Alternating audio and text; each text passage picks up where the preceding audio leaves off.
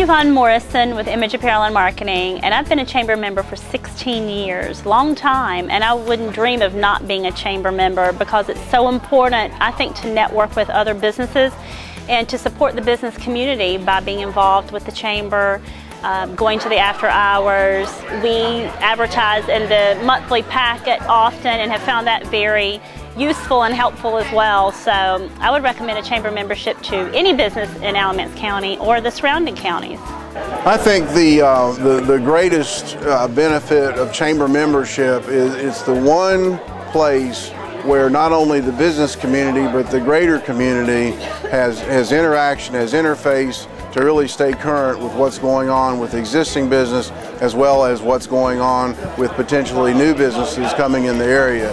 It, it, it provides a number of venues for chamber membership, that is the business community, to get to know each other and events like this, the wonderful membership interaction, the chance to kind of share thoughts and ideas with other people that, that might be outside of your, your general sphere of influence is just wonderful. So events like these raise awareness of the wonderful agencies and the other businesses in town and the, the job that they do recruiting business and also making us aware of that part of the process and the planning is exceptional. There, there are many small businesses in the chamber and venues like this offer the opportunity for networking. They can share and exchange ideas. Common problems can be discussed in a very informal setting. It's been very, very beneficial, I think, to all those who attend.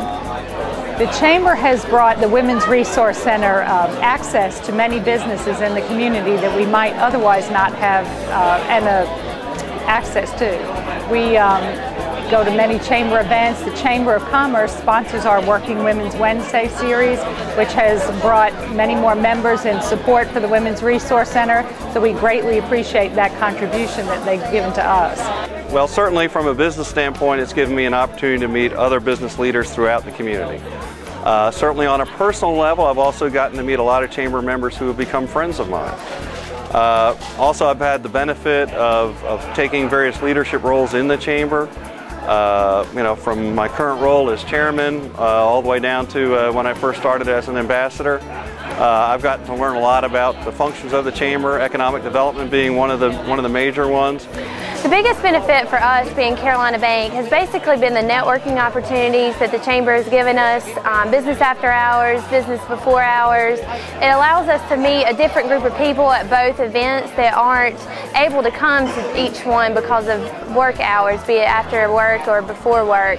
Um, also, just the other opportunities such as Chamber Lunch Bunch, um, it allows us to get to visit other businesses that are a part of the Chamber so that way we can experience what they have to offer the community and hopefully take that back into our business environment. Chamber has been fantastic. They've given me uh, many, many contacts. They've had plenty of functions for me to attend that I could meet people, develop relationships, and to really help my business grow. And I have to say that one of the first things any business should do when they're just starting out, the first thing they should do is join the Chamber of Commerce. That is what will really get you off the ground and get started right.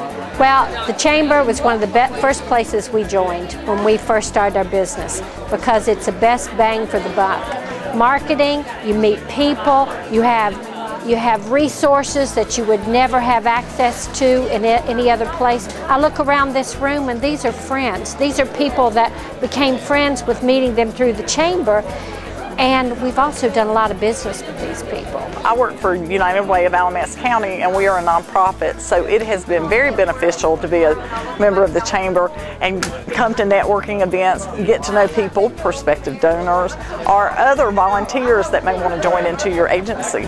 Say come to an event and, and see how many people attend, what kind of exposure that would get for your business, and then make your decision. And I think you'll find that most of the events, even the ribbon cuttings, there's a, a fair amount of people that show up to those that are that everybody's really interested in helping your business grow.